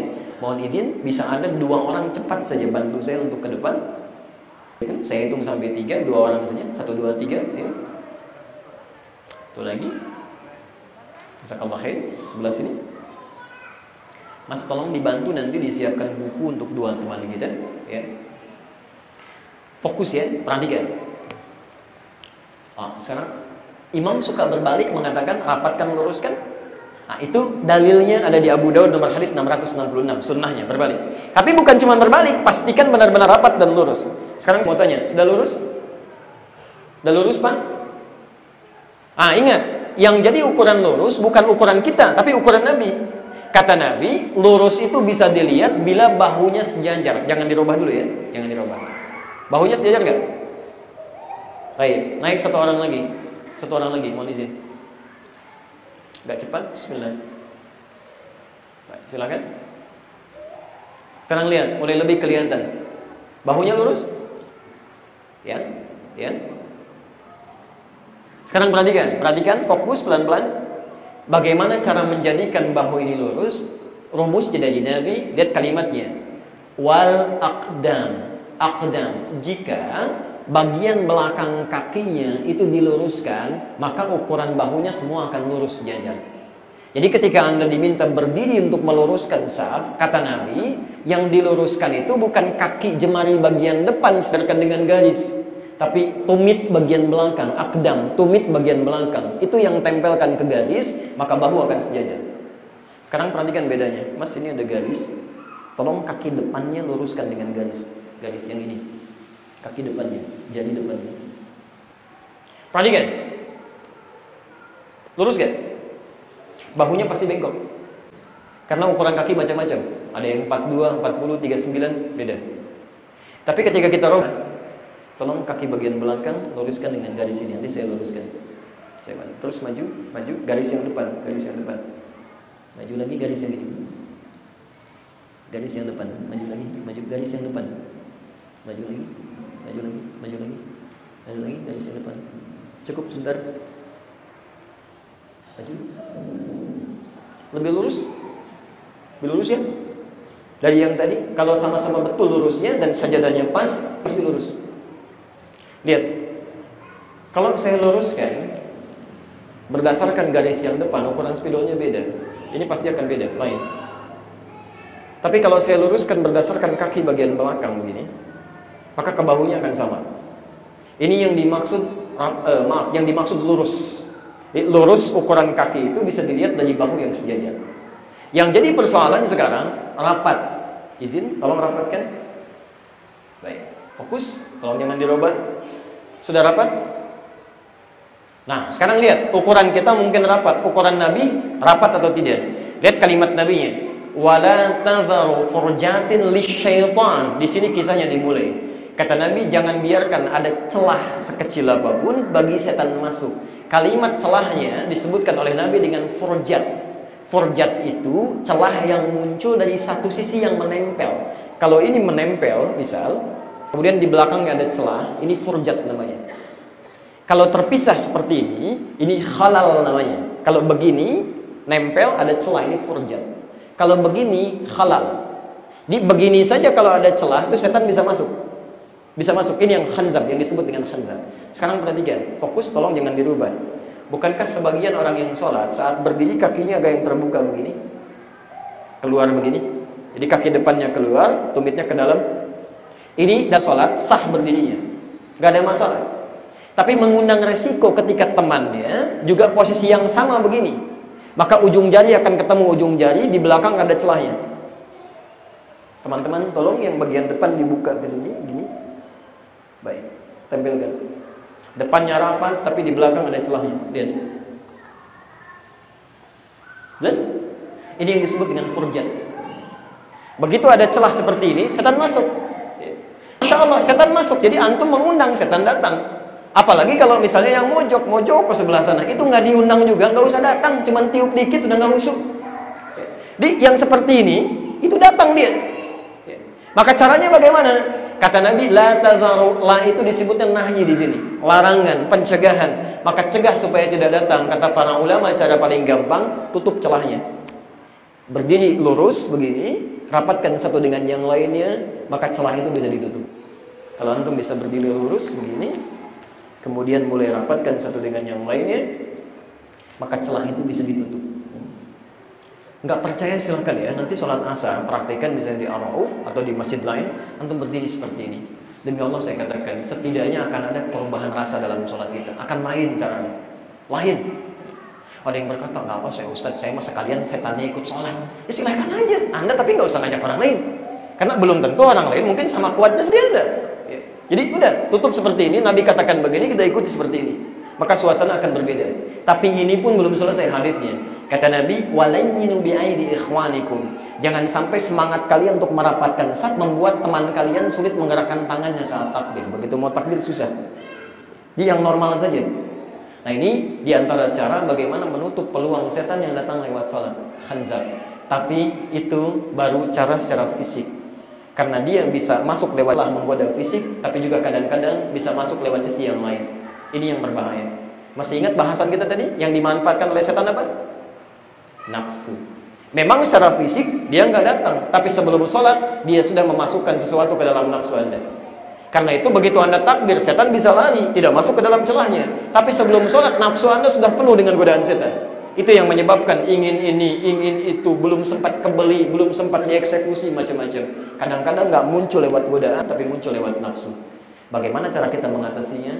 Itu yang kita bahas dalam pertemuan-pertemuan berikutnya insya Allah.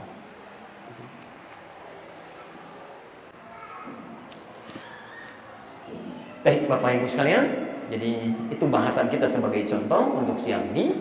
Insya Allah nanti kalau kajian kita e, bisa di kita coba agendakan untuk bisa diteruskan. Nanti saya buatkan silabusnya supaya rapi kajian kita. Nanti saya coba cantumkan juga beberapa referensinya, termasuk yang berbahasa Arab. Ya. Nanti coba kita turunkan. Kalau ada kitabnya kita bisa bacakan. Nanti saya buatkan silabusnya, kemudian urutannya seperti apa, referensinya bagaimana, dan hasil yang bisa diambil untuk evaluasi seperti apa. Supaya pertama kajian kita terarah, kedua punya sumber yang jelas, ketiga nanti ada manfaat yang lebih luas yang bisa kita pelajari lebih jauh, termasuk saat dibawa pulang ke tempat masing-masing. Jelas di sini? Saya kira kita cukupkan dulu ya untuk bahasan kita hari ini. Saya harus bersiap untuk kembali ke Bekasi karena kita akan berlanjut pada kajian Riyadus Salihin ya, untuk selanjutnya. Eh, kita insya Allah berjumpa kembali dalam kesempatan yang lain. Bagi teman-teman yang barangkali belum eh, ada kesempatan di tempat yang sama silahkan nanti tergabung dengan Akhir TV atau Madani TV atau nanti di parabola dengan frekuensi yang bisa dicari di Akhir TV ada beberapa kajian yang akan tersambung live bersama kita. Khusus untuk tanya jawab nanti insya Allah kita sediakan setiap malam Jumat. Waktunya Ba'da Maghrib sampai dengan Ba'da Isya. Anda boleh menghadirkan pertanyaan-pertanyaan sifatnya bebas e, bisa melalui media-media elektronik atau juga langsung telepon atau mungkin bisa dititipkan kepada bagian staf kami.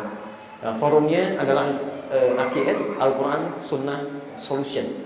Jadi setiap persoalan-persoalan yang masuk kita langsung jawab lewat petunjuk Quran dan Sunnahnya. Tidak lagi menjadikan pendapat-pendapat keseharian kita, tapi bagaimana Quran dan Sunnah memberikan solusi dalam kehidupan. Teman sekalian, kira itu yang bisa saya sampaikan. Jika ada uraian-uraian yang dianggap benar itu hakikatnya petunjuk Allah dan Rasulnya. Kalau ada yang keliru itu mutlak dari saya. Tolong maafkan saya dan tinggalkan pendapat saya yang keliru ambil pendapat ustaz lain yang sekiranya bisa lebih baik dijadikan sebagai rujukan. Demikian subhanakallahumma wa bihamdika asyhadu an la ilaha illa anta astaghfiruka wa atubu ilaik. Wa akhiru da'wana alhamdulillahi rabbil alamin. Wa afu minkum. Assalamualaikum warahmatullahi wabarakatuh